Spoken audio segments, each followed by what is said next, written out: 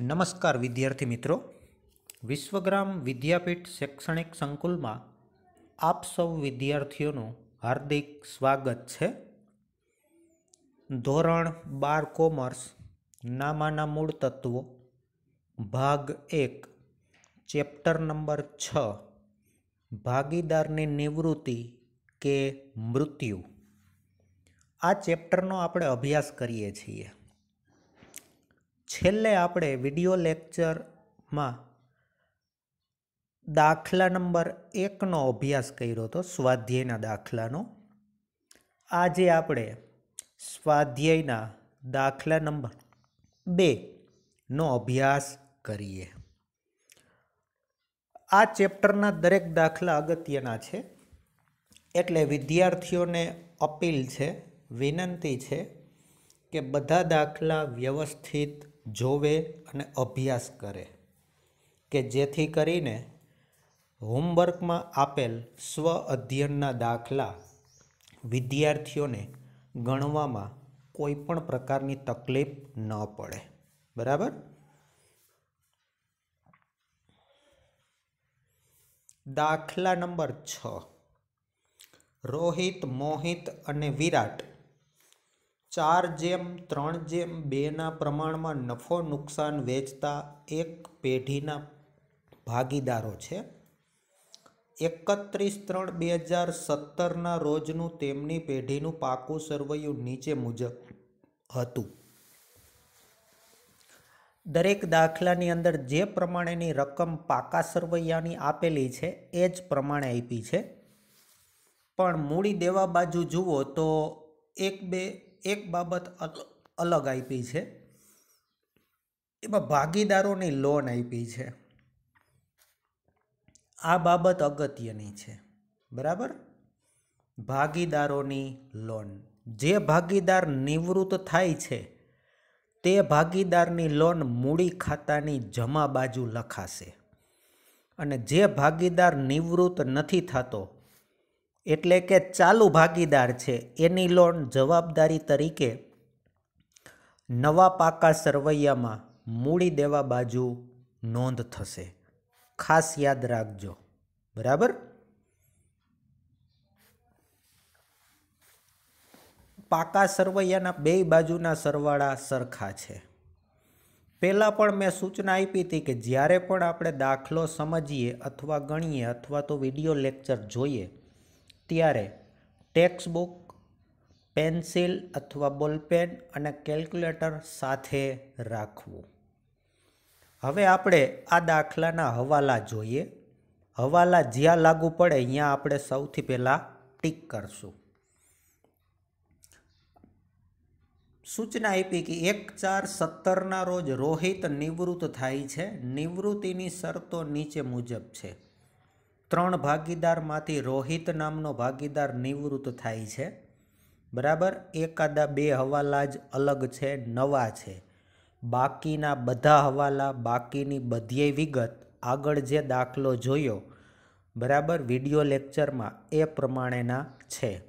એટલે બધા દાખલા અલગ નહીં હોય, ખાલી એની અંદર હવાલા જ નવા હશે. એટલે હવાલા ઉપર ખાસ તમારે ધ્યાન રાખવું. પહેલો હવાલો છે, જમીન મકાનની કિંમત એક લાખ એંસી હજાર ગણવી. નવી કિંમત આપી છે, નવા ચોપડે એક લાખ એંસી હજાર ગણવી. તો પાકા સરવૈયામાં જમીન મકાનમાં ટીક કરીએ. ત્યાર પછી બીજો હવાલો, યંત્રની કિંમત પંદર હજારથી ઘટાડવી. પંદર હજાર ઘટાડવાનું કહી દીધું છે. એટલે યંત્ર મિલકત છે તો યંત્રમાં ટીક કરીએ. મિલકત લેણા બાજુ. દેવાદારો પર દસ ટકા ઘાલખાદ અનામત રાખવી તો મિલકત લેણા બાજુ દેવાદારો આપ્યા એમાં ટીક કરો. ત્યાર પછી લેણદારો પૈકી પાંચ હજાર ચૂકવવા પડશે નહીં. દેવું ઘટે છે તો મૂડી દેવા બાજુ લેણદારો આપ્યા. છેલ્લી વિગત એમાં ટીક કરો. પાંચમો હવાલો, પેઢીની પાઘડીનું મૂલ્ય એક લાખ એંસી હજાર આંકવું. છેલ્લે વીડિયો લેક્ચરમાં જે પ્રમાણે ભાગીદારોના મૂડી ખાતે સીધી અસર આપી હતી તે જ પ્રમાણે આવશે. પણ અહીંયા એક લાખ એંસી હજારમાં રોહિતના ભાગની પાઘડી ગોતવાની.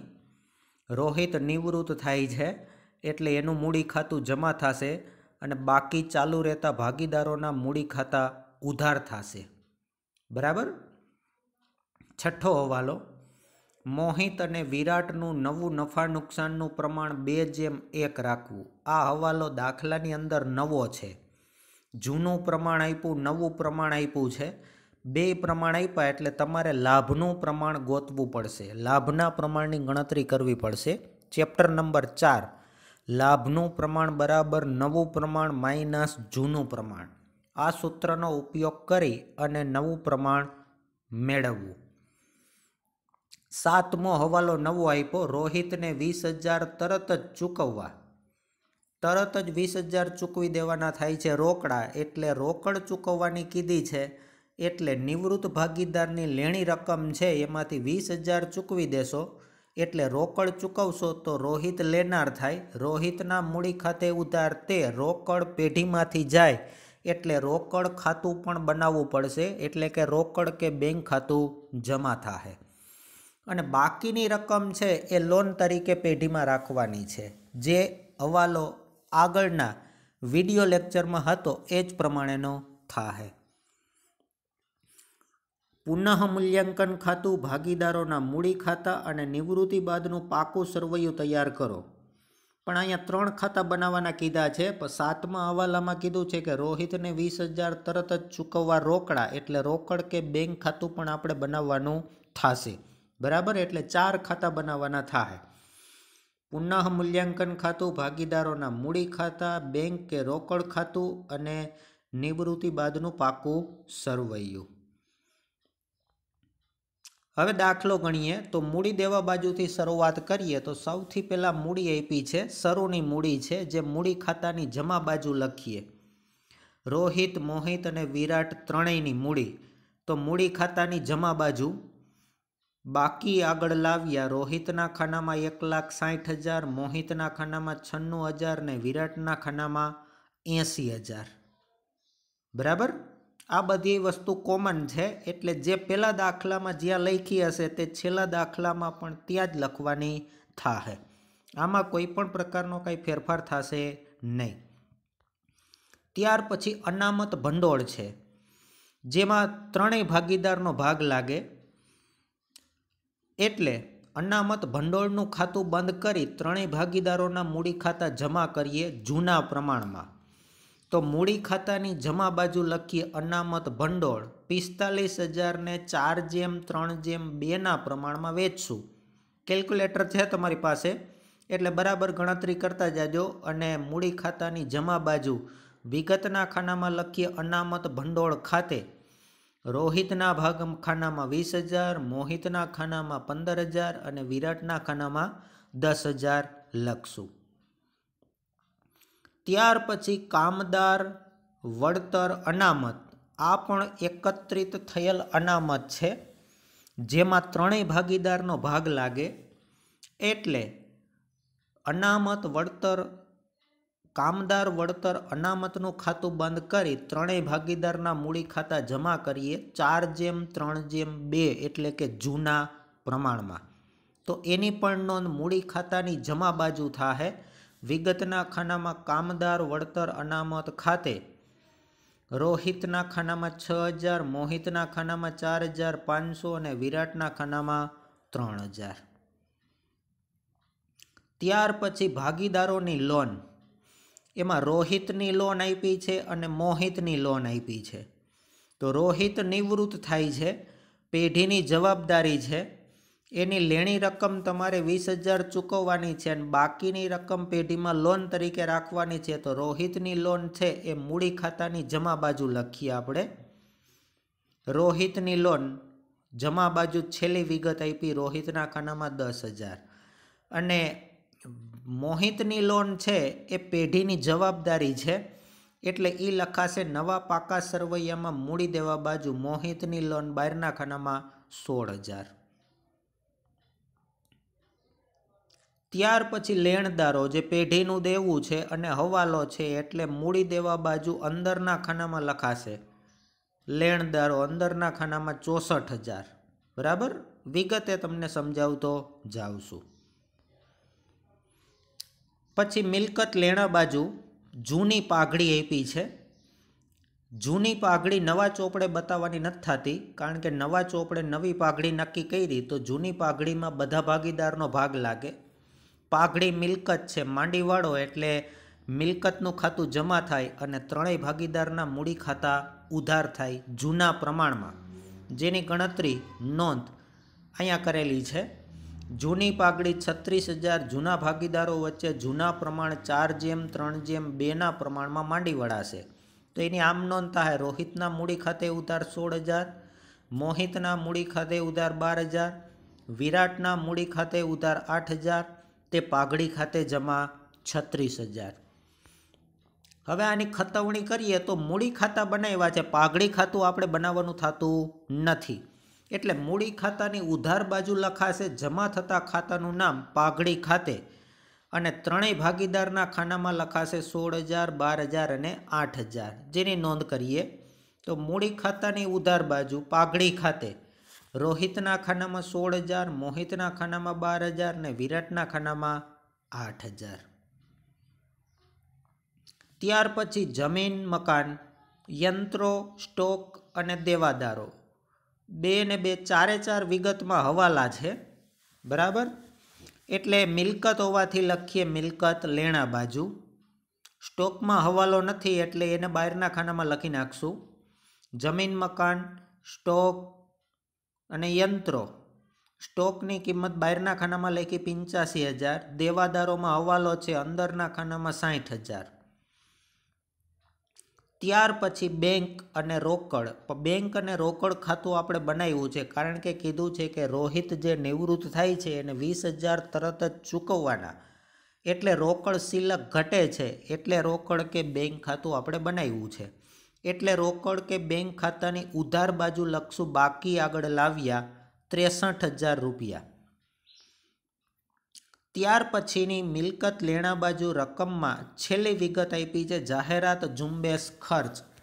આ પ્રસારિત મહેસૂલી ખર્ચ છે, જેમાં ત્રણેય ભાગીદારનો ભાગ લાગે, ખર્ચની ઉધાર બાકી હોય, ત્રણેય ભાગીદાર વચ્ચે વેચવા જાવ તો ત્રણેય ભાગીદારના મૂડી ખાતા જૂના પ્રમાણમાં ઉધાર થાહે અને જાહેરાત ઝુંબેશ ખર્ચનું ખાતું જમા થાહે. એટલે મૂડી ખાતાની ઉધાર બાજુ આપણે લખીએ જાહેરાત, ઝુંબેશ, ખર્ચ. રોહિતના ખાનામાં બે હજાર, મોહિતના ખાનામાં પંદરસો ને વિરાટના ખાનામાં એક હજાર. સાડા ચાર હજાર ને ચાર જેમ, ત્રણ જેમ બેના પ્રમાણમાં વેચશો એટલે બે હજાર, પંદરસો ને એક હજાર આવશે. પાકા સરવૈયાની બધી વિગત લખાઈ ગઈ છે. હવે એક પછી એક હવાલો લઈએ. તો જમીન મકાનની કિંમત એક લાખ એંસી હજાર ગણવાની કીધી. પણ જમીન મકાન ચોપડે આપ્યા છે દોઢ લાખના. નવા ચોપડે એક લાખ એંસી હજારની બતાવવા જાવ તો ત્રીસ હજારનો વધારો થાય. જેની આમ નોંધ કરવી હોય તો થાય. જમીન મકાન ખાતે ઉધાર તે પુનઃ મૂલ્યાંકન ખાતે જમા. એટલે એની બીજી અસર પુનઃ મૂલ્યાંકન ખાતાની જમા બાજુ લખાશે જમીન મકાન ખાતે રકમના ખાનામાં ત્રીસ હજાર. બરાબર? યંત્રોની કિંમત પંદર હજારથી ઘટાડવાની કીધી છે. યંત્રો આપ્યા છે નેવું હજારના. પંદર હજારનો ઘટાડો કરો તો મિલકત લેણા બાજુ યંત્રોની નવી કિંમત બતાવવાની થાય પંચોતેર હજાર. મિલકતમાં ઘટાડો થયો તેની આમ નોંધ થાય પુનઃ મૂલ્યાંકન ખાતે ઉધાર તે યંત્રો ખાતે જમા. તો પુનઃ મૂલ્યાંકન ખાતાની ઉધાર બાજુ બીજી અસર લખાશે યંત્રો ખાતે પંદર હજાર. ત્રીજો હવાલો આપ્યો, દેવાદારો પર દસ ટકા ઘાલખાદ અનામત રાખવી. તો મિલકત લેણા બાજુ દેવાદારો અંદરના ખાનામાં લખ્યા સાઠ હજાર, એમાંથી દસ ટકા બાદ કરીએ ઘાલખાદ અનામત છ હજાર. એટલે હવે દેવાદારોની બહારના ખાનામાં કિંમત આવશે ચોપન હજાર. પણ આપણી પાસે ઘાલખાદ અનામત બે છે, હવાલાની નવી અને પાકા સરવૈયામાં આપેલી છે તે જૂની. નવામાંથી જૂની બાદ કરતા જો જવાબ પ્લસ આવે તો એ ઉધાર બાજુ લખશું. જવાબ માઇનસ આવે તો એ પુનઃ મૂલ્યાંકન ખાતાની જમા બાજુ લખશું. તો પુનઃ મૂલ્યાંકન ખાતાની ઉધાર બાજુ ઘાલખાદ અનામત. જૂની ઘાલખાદ અનામત આપી ચાર હજાર, નવી છે છ હજાર. છ હજાર નવામાંથી જૂની ચાર હજાર બાદ કરો. એટલે બે હજાર રૂપિયાથી આપણું લેણું ઘટે છે. એટલે ઘાલખાદ અનામત પુનઃ મૂલ્યાંકન ખાતાની ઉધાર બાજુ લખાશે બે હજાર. હવાલા નંબર ચાર. લેણદારો પૈકી પાંચ હજાર ચૂકવવા પડશે નહીં, દેવું ઘટે છે. લેણદારોની જૂની કિંમત આપી ચોસઠ હજાર, મૂડી દેવા બાજુ ચોસઠ હજારમાંથી પાંચ હજાર બાદ કરશો એટલે હવે લેણદારોને ચૂકવવાની રકમ થશે ઓગણસાઠ હજાર રૂપિયા. આની આમ નોંધ કરવા જાઓ તો દેવું આપણું ઘટે છે. તો એની આમ નોંધ થાય લેણદારો ખાતે ઉધાર, તે પુનઃ મૂલ્યાંકન ખાતે જમા. એટલે પુનઃ મૂલ્યાંકન ખાતાની જમા બાજુ લખાશે લેણદારો ખાતે પાંચ હજાર.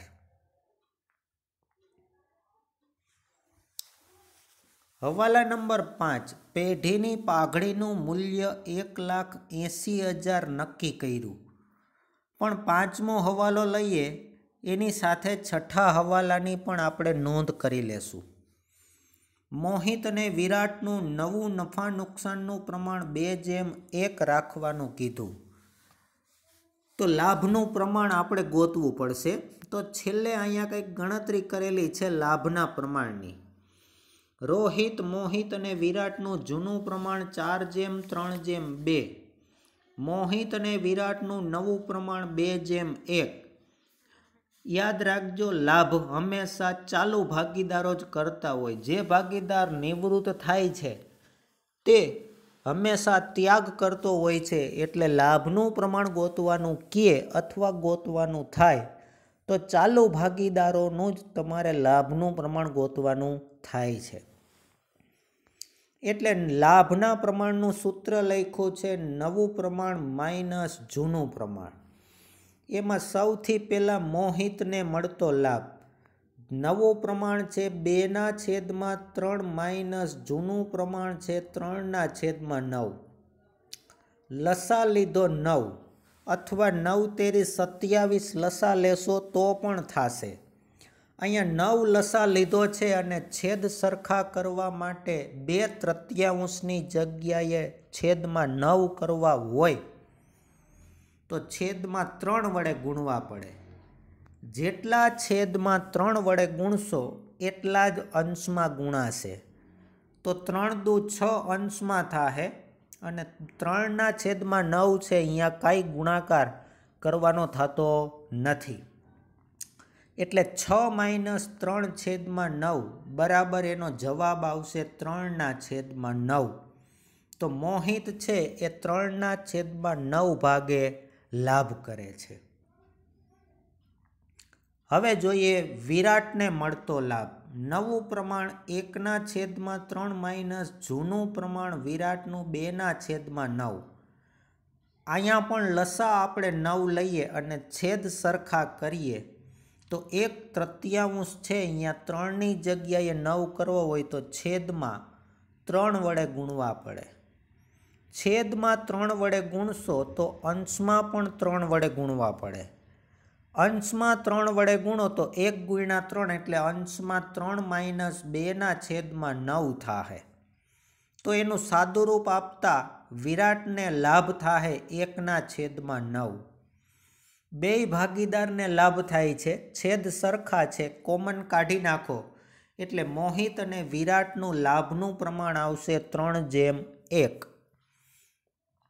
હવે નવી પાઘડી આપી છે. એમાં નિવૃત્ત ભાગીદારના ભાગની પાઘડી ગોતીએ. એમાં રોહિતના ભાગની પાઘડી. કુલ પાઘડી એક લાખ એંસી હજાર. ગુણ્યા રોહિતનો ભાગ છે ચાર. કુલ પ્રમાણ નવ.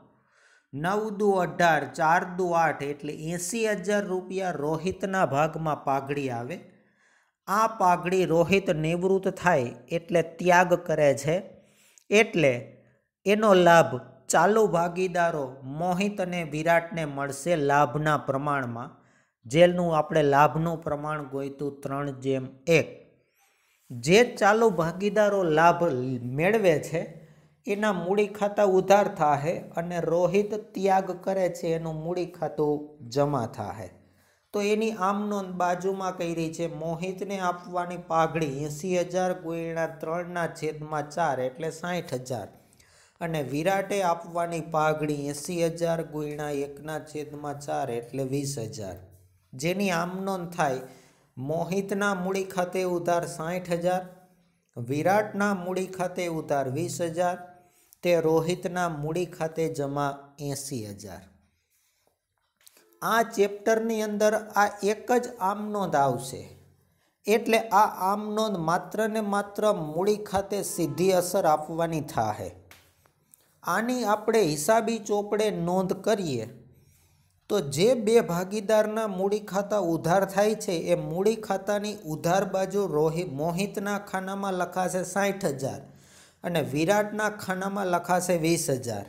પણ વિગતના ખાનામાં લખાશે જમા થતા ખાતાનું નામ એટલે કે રોહિતના મૂડી ખાતે. તો પહેલી નોંધ કરી દઈએ. મૂડી ખાતાની ઉધાર બાજુ રોહિતના મૂડી ખાતે કામુસમાં નવી પાઘડી. મોહિતના ખાનામાં સાઠ હજાર અને વિરાટના ખાનામાં વીસ હજાર. હવે રોહિતનું મૂડી ખાતું જમા થાય છે તો મૂડી ખાતાની જમા બાજુ એંસી હજાર લખાશે રોહિતના ખાનામાં. પણ કુલ એંસી હજાર નહીં લખાય. અહીંયા વિગતના ખાનામાં ઉધાર થતા ખાતાનું નામ લખાશે મોહિતના મૂડી ખાતે પાઘડી. મોહિતના મૂડી ખાતે રોહિતના ખાનામાં સાઠ હજાર. અને વિરાટના મૂડી ખાતે કાઉન્સમાં પાઘડી રોહિતના ખાનામાં વીસ હજાર.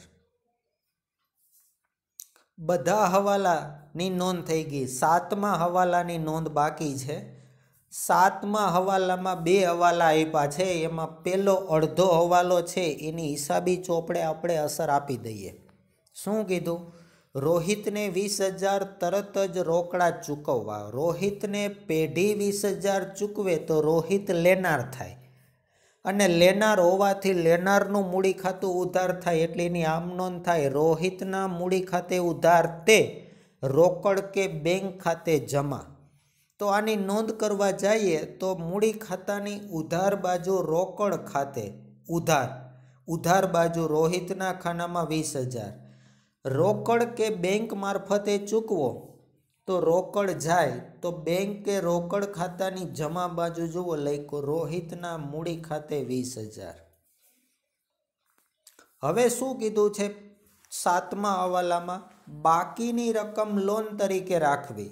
અહીંયા અમુક જગ્યાએ ટકાવારી આપેલી હોય કે બાકીની રકમ દસ ટકા વ્યાજે લોન તરીકે રાખવી. પણ અત્યારે લોન પેઢીના ચોપડે રાખવાની વાત છે, વ્યાજ ચૂકવવાની નથી થતી. જેદી તમારે વ્યાજ ચૂકવવાનું થાય, તેદી તમારે જે ટકાવારી નક્કી કરેલી હોય, એ ટકાવારી પ્રમાણે તમારે વ્યાજ ચૂકવવાનું થાય છે. એટલે ઘણા વિદ્યાર્થીઓને એ પ્રશ્ન થાય કે સાહેબ, આમાં તો ટકા આપ્યા છે, શું કરવું? પછી ટકા જેદી વ્યાજ ચૂકવવાના થાય, તેદી તમારે ધ્યાનમાં લેવાના થાય છે. આપણે તો એક જ વર્ષનો દાખલો ગણીએ છીએ. એટલે વરસ પૂરું થયા પછી વ્યાજની ચૂકવણી કરવાની થાય, એટલે એ વ્યાજની ઝંઝટમાં આપણે પડવાનું થશે નહીં. હવે, સાતમા હવાલામાં અડધો હવાલો બાકી છે. એની ગણતરી પુનઃ મૂલ્યાંકન ખાતું બંધ કર્યા પછી થાય તો સૌથી પહેલાં આપણે પુનઃ મૂલ્યાંકન ખાતું બંધ કરીએ. તો પુનઃ મૂલ્યાંકન ખાતામાં જમા બાજુનો સરવાળો વધુ થાય છે. પાંત્રીસ હજાર. એને ઉધાર બાજુ લઈ આવીએ અને ઉધાર બાજુ લખેલી બે વિગતને બાદ કરશું. એટલે પુનઃ મૂલ્યાંકન ખાતાની ઉધાર બાજુ તફાવત આવશે અઢાર હજાર. જેને આપણે કહેશું નફો. આ નફામાં ત્રણેય ભાગીદારનો ભાગ લાગે. પાંચમું ચેપ્ટર પ્રવેશનું હતું, ત્યાં બે જૂના હતા એટલે નફા કે ખોટમાં બેનો ભાગ લાગતો. નિવૃત્તિમાં ત્રણ છે ને એક જાશે એટલે છેલ્લે બે રહે, એટલે જૂનામાં ત્રણેય આવે, એટલે નફો થાય કે ખોટ થાય, એમાં ત્રણેય ભાગીદારનો ભાગ લાગશે નફા નુકસાનના જૂના પ્રમાણમાં. તો અઢાર હજાર જે નફો થયો, એ ચાર જેમ, ત્રણ જેમ બેના પ્રમાણમાં વેચીએ તો રોહિતના ભાગમાં આઠ હજાર, મોહિતના ભાગમાં છ હજાર અને વિરાટના ભાગમાં ચાર હજાર નફો આવશે. આ નફો ભાગીદાર વચ્ચે વેચો તો ભાગીદારોની મૂડી વધે, તો આની આમ નોંધ કરવી હોય તો થાય. પુનઃ મૂલ્યાંકન ખાતે ઉધાર અઢાર હજાર, તે રોહિતના મૂડી ખાતે જમા આઠ હજાર, તે મોહિતના મૂડી ખાતે જમા છ હજાર તે વિરાટના મૂડી ખાતે જમા ચાર હજાર. તો મૂડી ખાતાની જમા બાજુ લખીએ પુનઃ મૂલ્યાંકન ખાતે નફો. રોહિતના ખાનામાં આઠ હજાર, મોહિતના ખાનામાં છ હજાર અને વિરાટના ખાનામાં ચાર હજાર. હવે છેલ્લા હવાલામાં આપણો અડધો હવાલો હતો કે નિવૃત્ત ભાગીદારની લેણી રકમ લોન તરીકે રાખવી. તો જમા બાજુ પહેલાં રોહિતના ખાનાનો સરવાળો કરીએ. તો સરવાળો થાય બે લાખ ને ચોરાસી હજાર. ઉધાર બાજુ લઈ આવીએ અને ઉધાર બાજુ રોહિતના ખાનામાં લખેલી વિગત સોળ હજાર, બે હજાર ને વીસ હજાર બાદ કરશું. તો તફાવત આવશે મૂડી ખાતાની ઉધાર બાજુ બે લાખ છેતાલીસ હજાર. આટલો તફાવત આવ્યો એ પેઢીમાં હવે આપણે રોહિતની લોન તરીકે રાખવાની છે. તો વિગતમાં લખાશે રોહિતની લોન ખાતે. જો ટકાવારી આપી હોય, તો લખાય રોહિતની ખાલી જગ્યા ટકાની લોન ખાતે. જે ટકા આપ્યા હોય તે ટકા લખવાના. પણ એના વ્યાજની ગણતરી આપણે અત્યારે કરવાની થતી નથી. હવે આ લોન પેઢીમાં જવાબદારી તરીકે હવે રહી છે. એટલે એની બીજી અસર પાકા સરવૈયામાં મૂડી દેવા બાજુ લખાશે રોહિતની લોન ખાતે બે લાખ છેતાલીસ હજાર. હવે મૂડી ખાતામાં ચાલુ ભાગીદારોના મૂડી ખાતાની જમા બાજુના સરવાળા કરીએ મોહિત અને વિરાટના. તો મોહિતનો જમા બાજુનો સરવાળો થાય એક લાખ એકવીસ હજાર પાંચસો અને વિરાટનો સરવાળો થાય સત્તાણું હજાર. બે જમા બાજુ વધુ સરવાળાને ઉધાર બાજુ લઈ આવીએ અને ઉધાર બાજુ મોહિત અને વિરાટના ખાનામાં લખેલી વિગત બાદ કરીએ. તો તફાવત મોહિતના ખાનામાં આવશે અડતાલીસ હજાર ને વિરાટના ખાનામાં આવશે અડસઠ હજાર. આ છેલ્લે આવેલ ચાલુ ભાગીદારોના મૂડી ખાતાની ઉધાર બાજુ તફાવત આવ્યો, એ ચાલુ ભાગીદારોની આખરની મૂડી કહેવાશે. એટલે વિગતમાં લખાશે, બાકી આગળ લઈ ગયા. આ આખરની મૂડી આગળ પાકા સરવૈયામાં મૂડી દેવા બાજુ લખીએ અંદરના ખાનામાં મોહિતની મૂડી અડતાલીસ હજાર ને વિરાટની મૂડી અડસઠ હજાર. બેયનો સરવાળો બહારના ખાનામાં એક લાખ સોળ હજાર.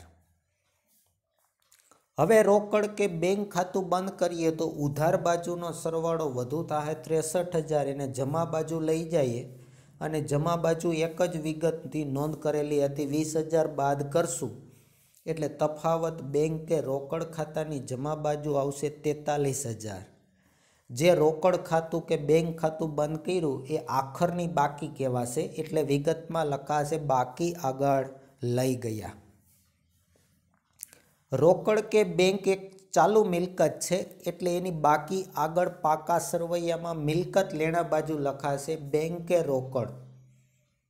તેતાલીસ હજાર. બધીએ હવાલાની નોંધ પાકા સરવૈયામાં થઈ ગઈ છે, એક પણ વિગત બાકી નથી. એટલે પાકા સરવૈયામાં મૂડી દેવા અને મિલકત લેણા બાજુનો સરવાળો કરીએ.